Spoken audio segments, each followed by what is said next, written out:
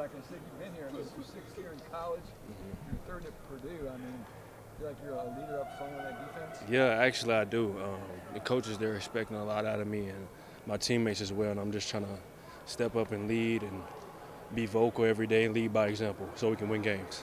How do you go about replacing Nick Langham and Isaiah Nichols up front?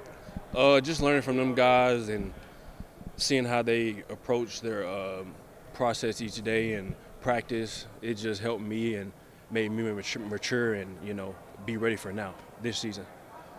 What do you kind of take away from last year? Uh, last year, um, we obviously went four and eight, and I don't want that to happen again. So, as a team, we just got together and decided that we need to buy in and do things right so we can win games and make this college football playoff and win a Big Ten championship.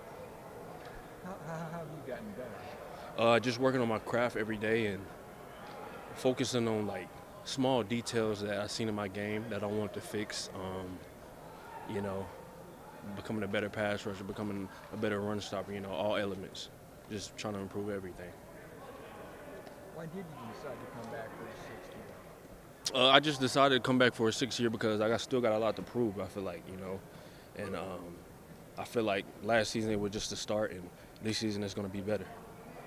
How much more comfortable are you and, and the group as a whole um, going into year two in the system? Um, yeah, you know, it's year two, so we just feel like we're that much more confident. We are that much more prepared, and we know what to expect now.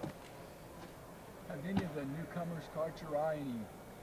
Any Yeah, freshmen transfers? yeah, a lot of guys um, with just on the line or everywhere. Just just on the line Okay. everywhere the defense too. Okay, um.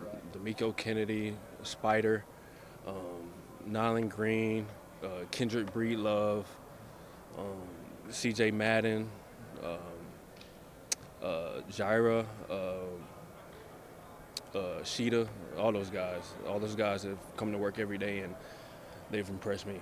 And I think they'll be a big help this season. How many SEC guys do you have now? A lot. Georgia, Georgia, South Carolina. Yeah, yeah, a lot, a lot. So that's a good thing, you know, a little SEC love. Sir.